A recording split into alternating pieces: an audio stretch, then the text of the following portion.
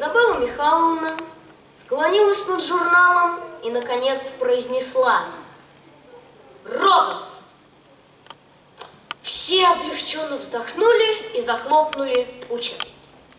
А Рогов вышел в доске, почесался и почему-то сказал «Хорошо выглядит сегодня, Изабелла Михайловна». Изабелла Михайловна сняла очки. «Ну-ну, Рогов, начинай!» Рогов шмыгнул носом и начал.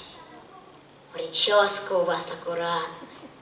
Не то что хм, у меня. Изабелла Михайловна подошла к карте мира. Ты что, не выучил урок?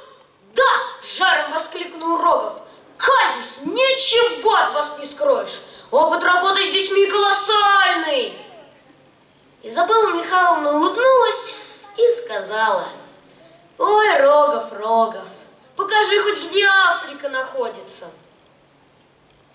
Там, сказал Рогов и махнул рукой за окно. Ну, садись, вздохнула Изабелла Михайловна. Тройка. На перемене Рогов давал товарищам интервью. Главное, этой кикиморе про глазки запустить. Изабелла Михайловна как раз проходила мимо.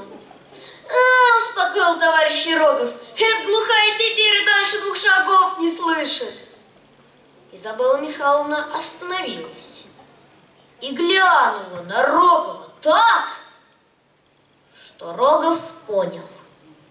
Тетеря слышит дальше двух шагов. На следующий же день Изабелла Михайловна опять вызывает к доске Рогова. Рогов стал белый, как полотно, и прохрипел.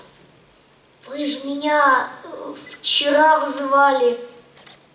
А я еще хочу, сказала Изабелла Михайловна и прищурилась.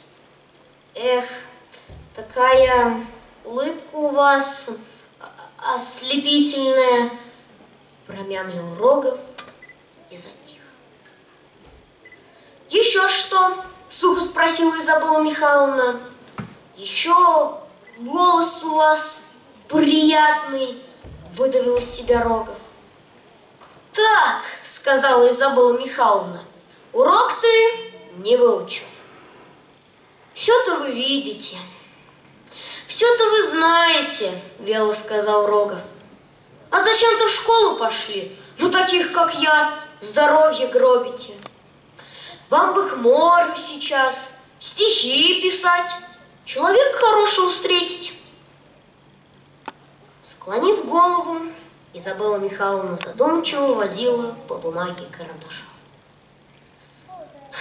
Потом вздохнула и тихо сказала, ну, садись, Рогов.